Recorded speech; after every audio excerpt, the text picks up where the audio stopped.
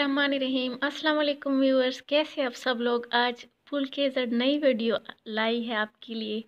आज हम आप लोगों को दिखाएँगे कि किस तरह यहाँ पे शालें तैयार की जाती है घर में।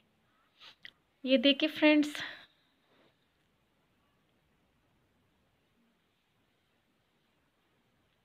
ये मैंने खुद अपने हाथों से बनाया है।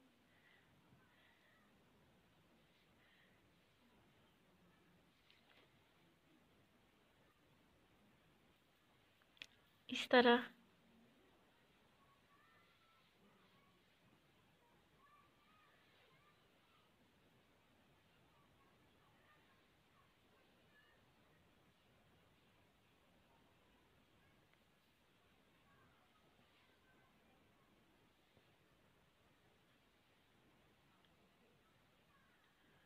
ये आप लोग सफ़ेद चादर पर करें तो बहुत प्यारा लगता है और बहुत डिसेंट लगता है।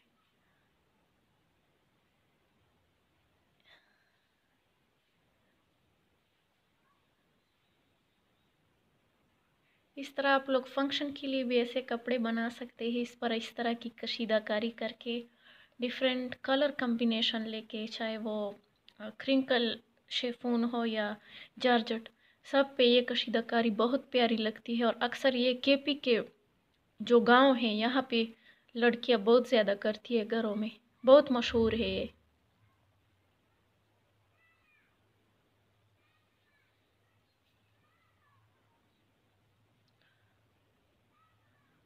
और फ्रेंड्स आप, आपके लिए, इस एम्ब्रॉयडरी के लिए बहुत ज़्यादा एक्सपेंसिव चीज़ें लेने की भी ज़रूरत नहीं पड़ती। बस सिंपली धागा लेना पड़ता है और ये मोतिया।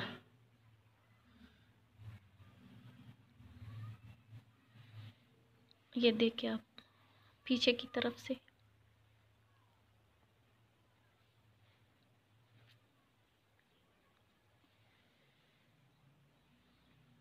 कॉटन पे भी ये बहुत प्यारा लगता है।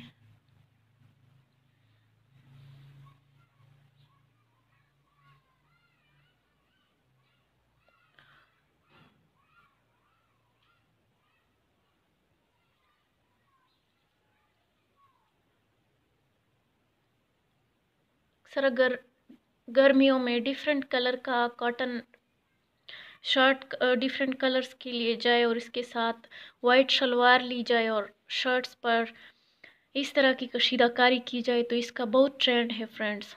ये बिल्कुल रेडीमेड लगती है, बहुत प्यारे लगते हैं।